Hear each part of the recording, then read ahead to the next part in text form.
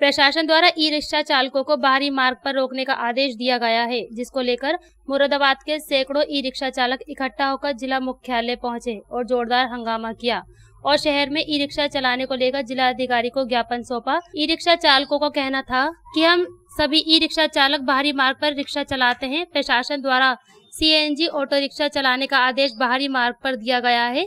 फिर भी CNG auto चालक शहर के अंदर मार्ग पर और बाहरी मार्ग पर ऑटो चला रहे हैं। उनको शहर के अंदर भी नहीं रोका जा रहा है, जबकि सीएनजी ऑटो चालकों पर ड्राइविंग लाइसेंस नहीं है, ना ही उनको चेक किया जा रहा है। कुछ सीएनजी ऑटो एक ही नंबर पर चार ऑटो चल रहे हैं। है सर, हम जितने भी रिक्शा चालक हैं, सब लोगों ने अपना कर्जा ले लेके ये रिक्शा एक लाख चालीस में जिसमें गवर्नमेंट ने हमें रोड टैक्स और उसका इंश्योरेंस लाइसेंस सब दिया हुआ है। तो हमें क्यों रोका जा रहा है? सीएनजी है सीएनजी वालों को आप लोग दे रहे हैं। सीएनजी वालों के पास लाइसेंस नहीं है आधा फिफ्टी परसेंट आदमी बिगैर लाइसेंस का। और एक नंबर से चार चार गाड़ियाँ वो लोग चला रहे हैं करूले से लेके कहाँ तक। और उन लोगों को पुलिस वाले लेते हैं चले जा भाई।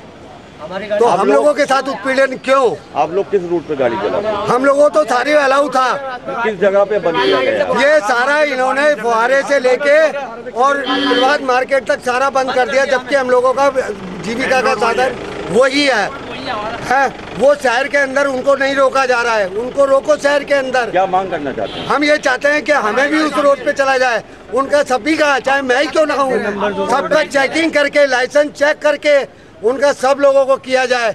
मगर जो सीएनजी वाला नतराई चल रहे हैं उनको तो कोई प्रशासन रोकता नहीं है। टी आई महोदय टी आई महोदय के आदमी है साइड में चेकिंग होता है पाँच सौ रुपये ले लिए।